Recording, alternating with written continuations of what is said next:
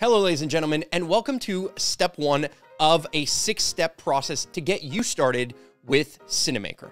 Now, if you want to harness the power of an all in one multi camera app, well, you're going to need to start by downloading and installing it, which might seem obvious, but there's a couple of layers to this. Really, there are three layers of downloading and installing that you might need. And the first is the Cinamaker Director Studio, which is available on Mac or iPad.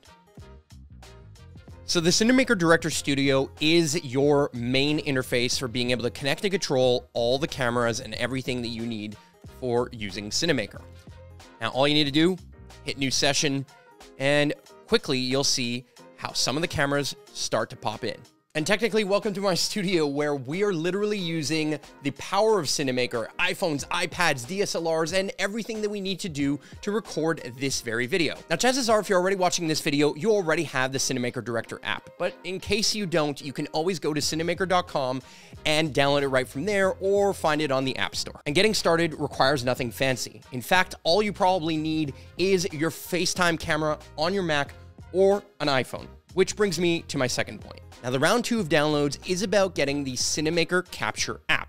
Because if you've got the Director Studio, now you need to bring in your camera angles. So that works on your iPhone or on an iPad that you can download exclusively on the Apple Store.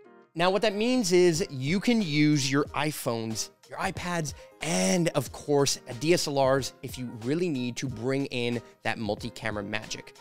But if you want to share your screen and do it in an unwired way, well, then you're going to have to go to round three of downloads, which is SynIO. SynIO is simple.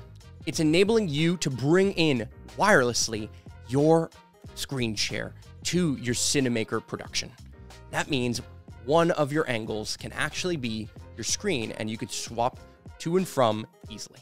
Now, before we go on to step two, the last thing I want to mention is your login credentials and settings. Now, if you go to the top left corner of the Cinamaker Director Studio, you'll be able to log in, access your account, upgrade if you want to, and of course, be able to change any settings that you feel are relevant to you. Feel free to geek out and just uh, spend some time there. Anyway, see you in the next video on how to connect and control all the different camera angles and devices.